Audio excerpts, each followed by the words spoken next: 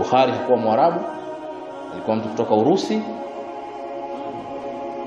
alijifundisha lugha kuanzia mdogo, lakini akaanza kufanya kazi hii ya kukusanya hadithi za Mtume sallallahu alaihi wasallam zilizokuwa sahihi. Kisa chake ni kirefu, mimi siwezi kufikiri kuimagine tungekuwaje sisi Waislamu leo bila Bukhari, sifikiri kabisa. Lakini ni, mtu ambaye Allah subhanahu wa ta'ala kampa jukumu maalum la kufanya hiyo kazi, kaifanya kwa miaka mingi sana, kahama nchi yake miaka. Zamani ilikuwa kuna usafiri kama sasa hivi, katembea nchi zote Uarabuni na nje ya Uarabu kutafuta hadithi. Fikiria alipotoka na alipokwenda, kakutana na wanachuoni wote waliopata hadithi kutoka kwa masahaba Mtume sallallahu alaihi wasallam. Haridhiki kusikia mpaka akamuone yule mtu, akae kwake siku moja, kakusanya maelfu kwa maelfu ya hadithi. Katika kipindi chake alivyorudi kwao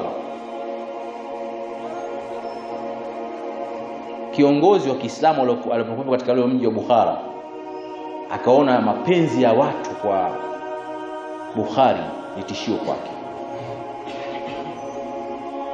akaamrisha ahame, aondoke haraka sana, masaa 24 aondoke katika ule mji. Akaondoka akaenda katika mji wa jirani unaitwa Samarkand. Anafika kule, yule kiongozi kashatuma ujumbe uende kule kwamba kuna mtu anakuja huko anaitwa Bukhari, ukimruhusu aingie katika mji wako anakuharibia. Alipofika tu, kabla hajaingia katika hiyo nyumba alikuwa anafikia, askari wako nje, anamwambia mzee, usishushe mizigo yako, endelea na safari. Kachoka mzee, fanya kazi kubwa, miaka sitini na kitu akaenda akajipumzisha chini ya mti chini, pumzike kidogo, kutoka mbali sana, watu wanazuia kwenda kumuona.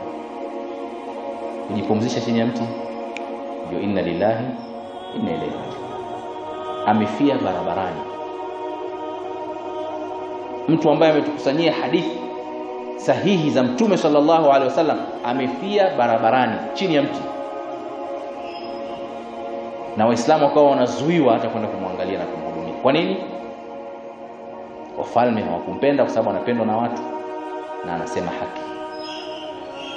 Leo tunazungumza, karne na karne zimepita. Wallahi mimi hata ukiniambia jina la ule mfalme aliyomfukuza simjui, hata ukitafuta kwenye vitabu alikuwa ni mfalme gani, aliitwa nani, kiongozi gani, hatajiki kabisa, hayupo. Lakini niambie Bukhari kila anayezungumza atamalizia rawahu Bukhari, imepokewa na Bukhari, imetajwa na Bukhari, imetolewa na Bukhari, imeandikwa na Bukhari, sijui imefanywa nini na Bukhari. Leo mtu aliofia barabarani, ndimi zetu haziachi kumtaja. Kwa nini? Athar aliyoiacha kwa ajili ya Allah subhanahu wa ta'ala, ikhlasi aliyokuwa nayo. Ukitaka uache athari, usiwe na kibri, usiwe mutakabir usiwe na maringo, usitake umashuhuri, usitake sifa, usitake viti vya mbele, usitake kukaa karibu na viongozi. Ukitaka uache athari, ukitaka usiache athari, penda sifa, penda kusifiwa, penda kutajwa, penda kuwa karibu na viongozi na kukaa siti za mbele, wanaita meza kuu. Hatukatazi lakini usipende, lazimishwa kukaa pale. Usipende. Hawa viongozi wote tuliowataja hawa hawakuwa na mulahaka na viongozi wa kisiasa, kwa sababu viongozi wa kisiasa ni waharibifu kwa wanachuoni wa dini, na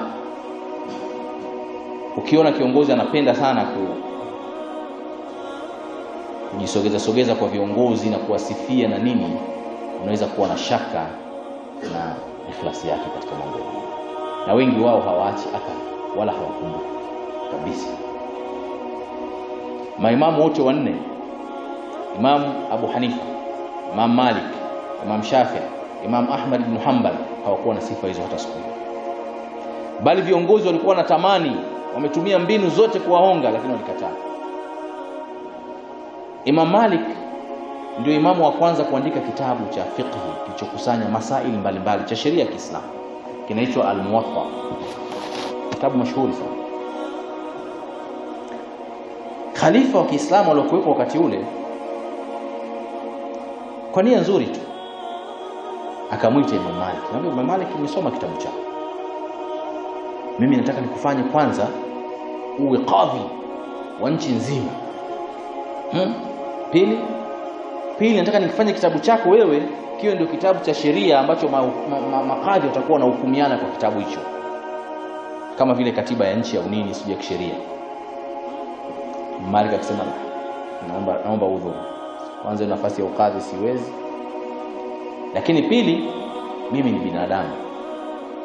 Nimeandika kitabu nimejitahidi wako wanachuoni wengi wanaweza kuandika vitabu vizuri zaidi ya hichi. Kwa nini tuwalazimishe waislamu kufuata maoni yangu na mtazamo wangu? Tusiwaachie huru wafuate maoni ya wanachuoni wengine wanaona wanafaa. Mimi sitaki. Akajiweka mbali kaacha mshahara kaacha nyumba marupurupu kaacha kuwa karibu na kiongozi kuogopewa kaacha kaendelea na, na ushehe wake. Mpaka leo tunamkumbuka Imam Malik viongozi wa dini wanapojiingiza kuwa chini ya viongozi wa kisiasa na wakasikiliza maelekezo yao wanasahaulika katika historia. Hakuna atakayewakumbuka lakini atakayesimama kwa ajili ya dini yake kwa ajili ya ikhlasi ya Allah subhanahu wa ta'ala bila kutaka umashuhuri sifa kusifiwa kufanywa nini Allah subhanahu wa ta'ala atamtilia baraka katika amali yake na atakumbukwa vizazi kwa vizazi. Kwa hiyo unyenyekevu ni moja katika sifa kubwa sana na ndugu zangu sasa hivi tuna mtihani mkubwa hususan sisi ambao tunajinasibisha na da'wa na ushekhe yasu na nini. Wengi wetu tupo katika umashuhuri penda majina makubwa kusifika kutajwa wengi. Na wako mashekhe ndugu zangu wallahi wanachagua misikiti. Mbeshaka tunakualika ni msikiti wetu kuna muhadhara msikiti gani? Haulizii msikiti kwa maana ya madhhabu manhaji anaulizia msikiti wanaoswali pale ni kina nani? Au huko tu mtaani kule vichochoroni kule na hivi na hivi na hivi. Naomba radhi siwezi kuja lakini kama msikiti una vigogo vigogo si una nini na watu watu wazito wazito sio sio unatakiwa aombe yeye ndo anaomba kuja pale. Sheikh unialike kwenye msikiti wako nataka kuja kutoa muhadhara pale. Sisi kuna mashehe tumewaomba hapa Tanzania. Wakubwa kabisa na majina makubwa. Chanzo tufanye tunaomba mje Iringa tufanye mihadhara tuendeni vijijini twende wapi? Wameniletea ratiba yake kwanza. Namletea kijiji fulani Magubike sijui Nyamahana sijui wapi wapi. Anaangalia ratiba ile ile kabisa bwana nisiweza nikaja tu nikatoa mathalan siku moja pale kwenye ule msikiti mkubwa nikarudi zangu bwana. Kwa nini? Anahisi kwamba kwenda kule hakuna athari yoyote yani anaona kama kule kama waislamu hawapo la hasha lakini anachokitaka ni nini? Mashuhuri maslahi ya kidunia. Wengi wetu tuko hivyo bali mgeni unamchangia mpaka nauli unampelekea anakupangia kabisa na hela ya kuacha nyumbani hela ya safari alafu nitafikia kwenye hoteli gani na ina hadhi gani huko? Kuna hoteli ya 5 star 3 star huko.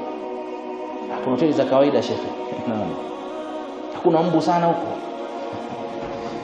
Daia huyo mlinganiaji huu utamlinganisha na Bukhari aliyefia barabarani kwa kuhudumia umma. Yeye anauliza nataka kuja huko Iringa kuna 5 star? Alafu nyumbani nitapaachaje? Biashara tutakutumia kama laki mbili hivi. Mm, laki mbili sawa eh, sio mbaya sana ehe. Kingine eh yaani anakuja kufundisha dini anakuja kutoa muhadhara kwa kwa, kwa nani waislamu huyo ndio kiongozi ndio viongozi tulionao sasa hivi ndio mashekhi tulionao sasa hivi. Wataacha athar hawa watakumbukwa. Shekhe na wapambe sijui 15 20 sijui. Maulamaa salafu waliotangulia walikuwa wanawafukuza wanafunzi wao wasiwasindikize. Kutoka msikitini wanafunzi kwa nia nzuri tu ngeta kubeba mkoba wanakwenda nyuma ya shekhe mbio anauliza "Babe, tokeni mnakwenda wapi? Tumeshamaliza darasa nendeni zenu huko. Unaona?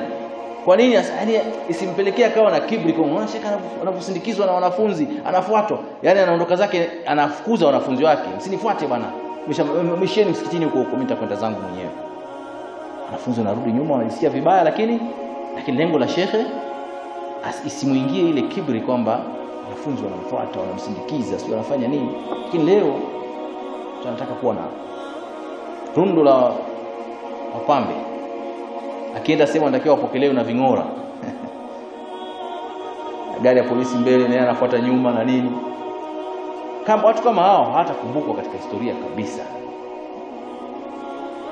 Kwa kuna umuhimu mkubwa ndugu zangu kama tunataka tuache athari hususan ujumbe huu unakwenda kwa wanaosikiliza shekhe na ulama unyenyekevu jiishi na watu kuwa na watu kaa na watu wafuate watu. Mtume sallallahu alaihi wasallam ina ina, ina, inahadithiwa walikuwa zinakuja ufudu ujumbe kutoka maeneo mbalimbali. Hawamjui mtume sallallahu alaihi wasallam. Wakifika pale wanauliza man fikum muhammad? Nani katika nyinyi hapa ndio muhammad jamani?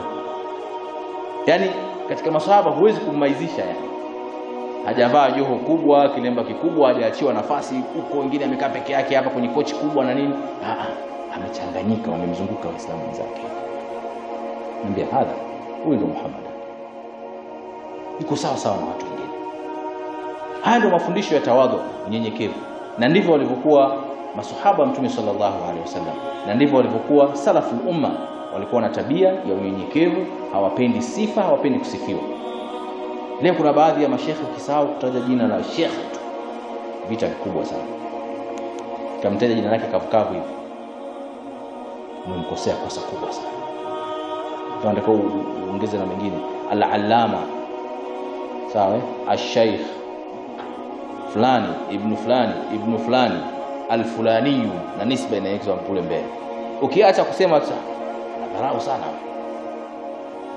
Jina tumelikosea tawadhu iko wapi hapo? Unyenyekevu uko wapi? Usisahau kusubscribe like na kucomment